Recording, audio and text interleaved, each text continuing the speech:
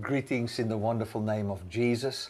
I would like to wish you a Merry Christmas, a time where you will just experience the peace of God, where you can meditate, think upon, ponder upon uh, what Christ has done for you. This is a time where my family and I, and many people over the world, just celebrate the birth of Christ. You know, we can be very technical and say, but was Jesus really born on this day? Who cares? We're just celebrating uh, Jesus and his birth and the incarnation. Isn't that a beautiful thing to do? To take a day and just feast around what Christ has done and feast around the revelation of the incarnation. I want to tell all of my friends on Facebook, uh, all of the um, faithful followers of Dynamic Love Ministries and the messages that spread the message of grace, all my pastor friends, um, you know, may this day and this time of the year be a time of great joy for you, a time where you just experience what it is to be um, hugged by God, be embraced by God, where your mind is um, renewed in the goodness of God, where you can. Um, maybe you are not with family. Uh, with me, I'm with my wife and children. We don't. We didn't have family um, over or anything like that.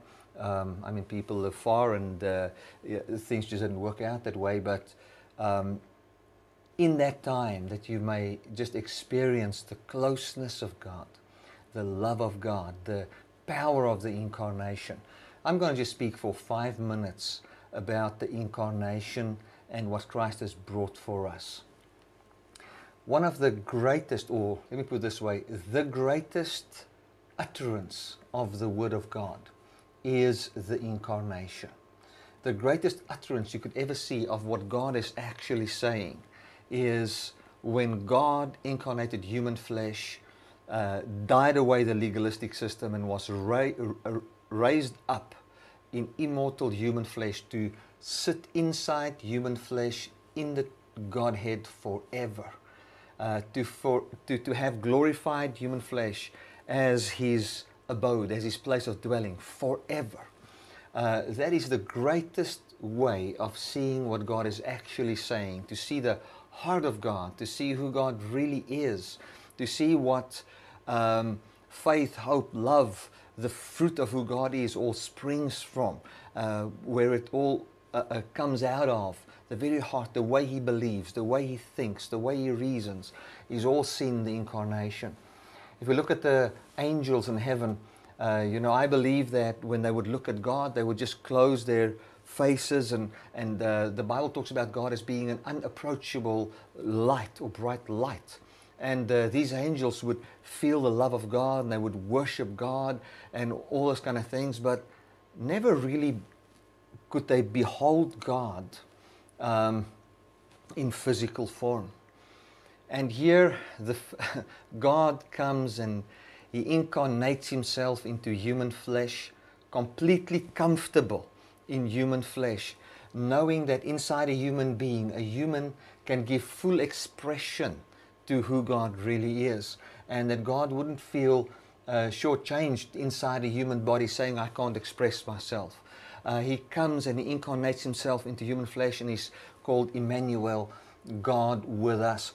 And um, he dwelt amongst us, he, he walked amongst us, and we could see who he really was. And when the angels saw the Word of God, when they saw what God was actually saying uh, all the time, they saw and said that, um, you know, glory to God in the highest, peace on earth, and goodwill toward man. Goodwill, the very reputation of God, is also the reputation of man. The very, the, the, I don't know how to say it another way.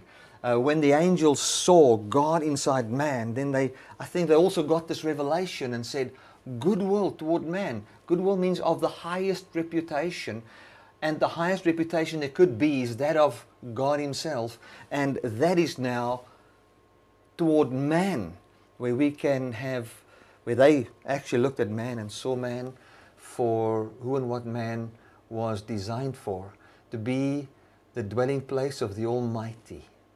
You know, God's end goal wasn't to live in heaven, God's end goal was to live in you and to have you share in His quality of life and to have Him live in you and to then dwell with you in a way that you could have eternal bliss and joy in what He has accomplished and decided before the foundation of the earth that you would be His friend.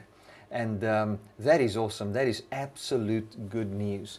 Now, uh, when we go to the scripture, we see Isaiah 9, verse 6 says, A child was born, a son was given. Now, what does that mean?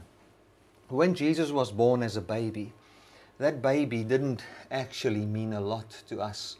What, what meant something was what God actually gave in that baby. And what He gave in that baby was a son. What He gave to us, um, what He gave to mankind was sonship. The Bible says that Jesus Christ was declared to be the Son of God with power by the resurrection. And when Jesus was raised from the dead, he possessed immortality in his physical body, and therefore he was proven to be the Son of God with authority. And what that means is God declared and proclaimed to the whole world that this Jesus is his Son by raising him from the dead. And me, meaning, if, if we say we're the Son of God, it means that what is inside God is inside us. And here Jesus is fully declared the Son of God, possessing the life of God even in, uh, uh, in, in uh, a physical human body.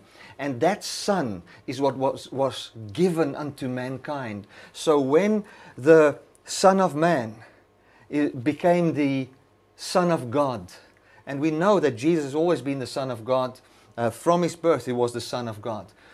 But the moment he was raised from the dead, he was the Son of God with power. Meaning, he came into the full sonship in every area of his life, possessing immortal human flesh. And that sonship is what's given to us so that we can have the same blessed hope of life, not just in spirit and soul, but from spirit and soul unto our even our physical bodies, wherein we will say unto death, O death, where is your sting? Even if I would die, I would live again. And I can even be changed, you know, in the return of Christ and never see death as um, Jesus said it in his return. This is the mystery. When Christ comes, what will happen? We will be changed and we will see a son was given unto us so that we can now say that we have attained unto the adoption of sonship wherein we are we are not now the children of God or the sons of God if you want to call it like that but we will find the full manifestation of sonship inside us which is also called the adoption according to Romans 8 so these words maybe you've never heard in your life, but let me say it to you. A child was given, but we cannot think of the child without thinking of the raised son. For that is, a child was born, but was what was given unto us wasn't the baby, wasn't the child. What God gave unto you was the Son of God, the Son of man in the Trinity, being God's word about you, wherein you are now begotten unto a new and living hope through the resurrection, which is to have the fullness of sonship manifest in your life in every area of your life, for the Word of God is sharper than any two edged sword, dividing asunder.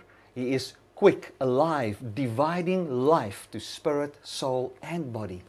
Glory to God. Have a blessed Christmas. Thank you so much, guys. All our web pastors and just people that, that are good friends all over the world. Thank you so much for all your love and just have a blessed time. See you soon. God bless.